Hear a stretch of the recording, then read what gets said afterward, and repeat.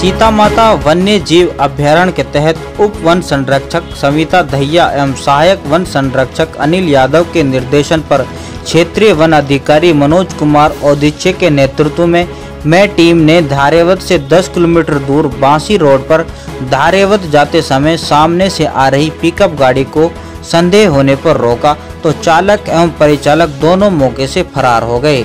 गाड़ी की चेकिंग करने पर उसमें से 15 क्विंटल करीब 20 कट्टे खेर की लकड़ी के पाए गए, जो कत्था बनाने के लिए काम में आते हैं। क्षेत्रीय वन अधिकारी मनोज कुमार ओदिच्य ने बताया कि प्रातः सात बजे करीबन बांसी से धारेवत की ओर गश्त के दौरान आ रहे थे कि धारेवत से 10 किलोमीटर दूर सामने से आ रही पिकअप को संदेह होने के चलते रोका तो चालक एवं परिचालक गाड़ी रोकते ही मौके से फरार हो गए। गाड़ी की चेकिंग करने पर उसमें खैर की लकड़ी पाई गई।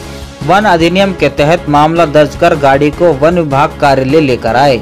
इस दौरान टीम में वनपाल यशपाल सिंह, वन संरक्षक लालचंद गुर्जर धीरेन्द्र सिंह, कमलेश मेघवाल एवं चालक गट्टू लाल मीणा सहित में जाब्ते कार्रवाई के दौरान उपस्थित थे।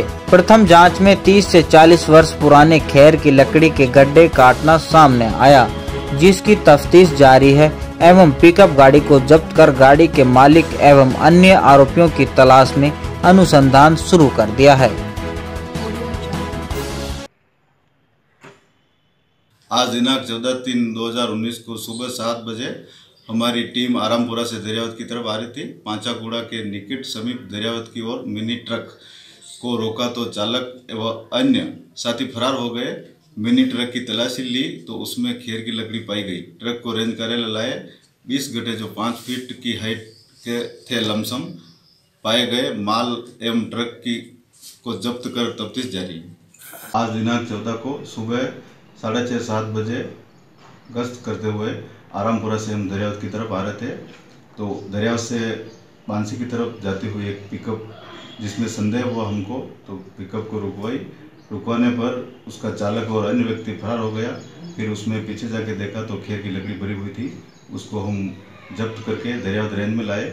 उसमें खेर की लकड़ी पाँच छः फीट की लंबाई उसकी और अग्रिम कार्रवाई जारी है उसकी।